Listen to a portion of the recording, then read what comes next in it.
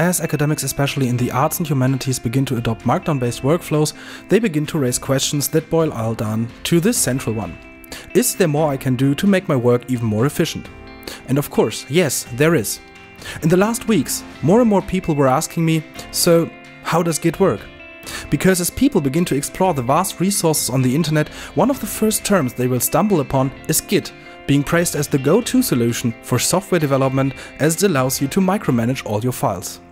So in this video I want to offer a short explainer of what Git is and, more specifically, how Git can help you as a researcher. Git is a command line program similar to Pandoc, which most of you might already be familiar with. This means to operate it, you'll need to open up that old school black and white terminal application on your computer. There are some programs that allow you to control Git via a graphical user interface, but I won't tackle these in this video. Released in 2005, Git was the solution for software developers who wanted a way to track changes to their source code. Because if something went wrong, they could then simply go back to a version of the code which worked and see where the mistake started to happen.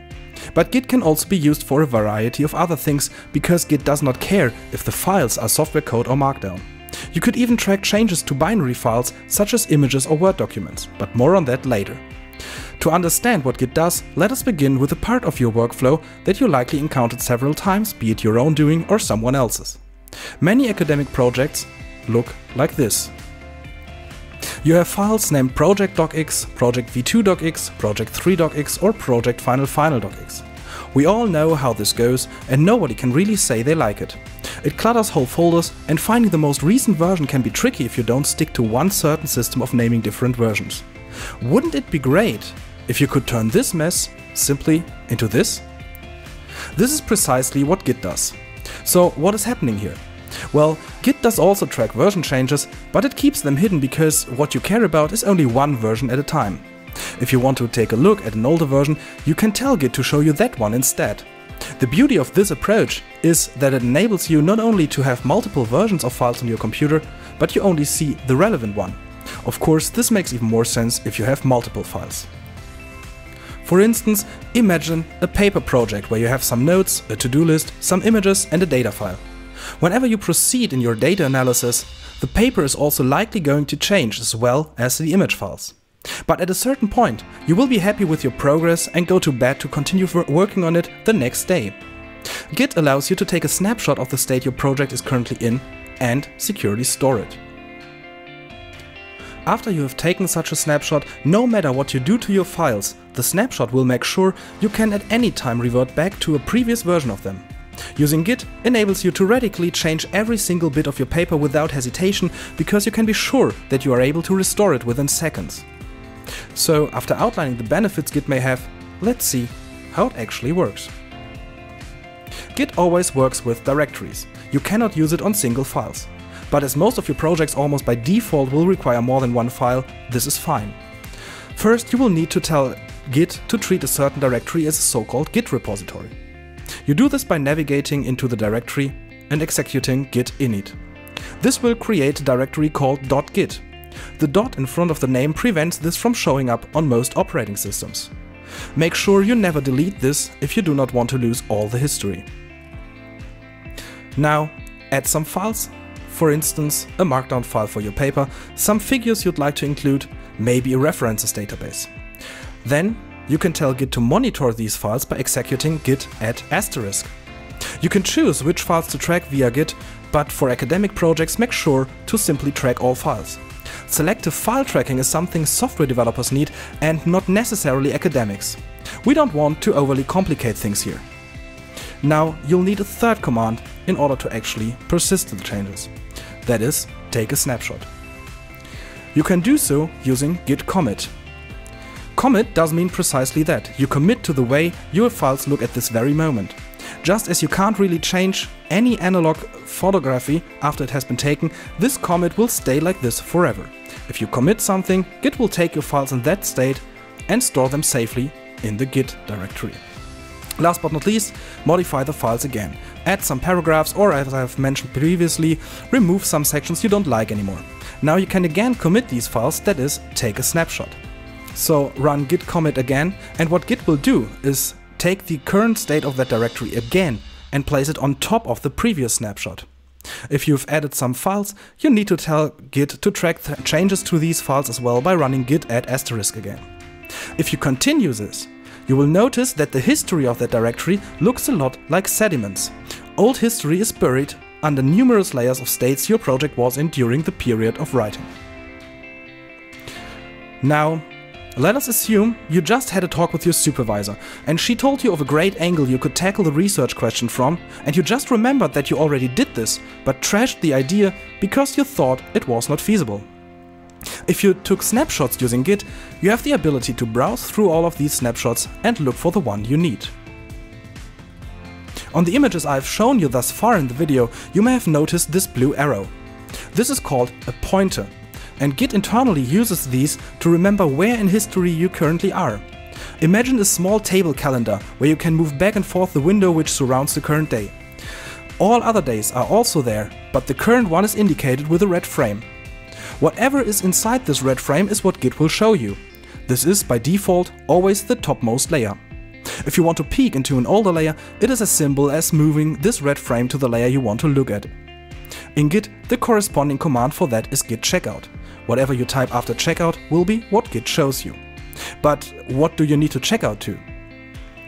Well, each of these layers receives a unique identification and by telling Git this unique identification, it will know which snapshot you want to look at right now. To see all your snapshots, the easiest way is to execute the command git log. To make it more compact, you can use the one-line flag, which will, as it indicates, display every commit using only one single line. The lines begin with the unique identification Git needs, followed by the method you attached to the snapshot.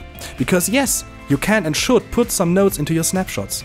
These help you find the correct snapshot at a later time.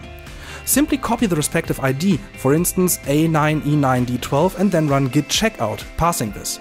If you now take a look at the directory, it will look totally different. This is because Git has behind the scenes taken all the files of that snapshot and placed them in the directory for you. Now you can browse these files and open them. As soon as you find the information you were looking for, simply copy it out of the directory, that is, copy the paragraph into a new document, and then execute git checkout master. This command will tell Git that you have found what you're looking for and you are ready to work on your project again. Note that while you are looking through the different snapshots, any changes to any file will be lost after you go back to the editable state. Browsing these snapshots is only to look for lost information.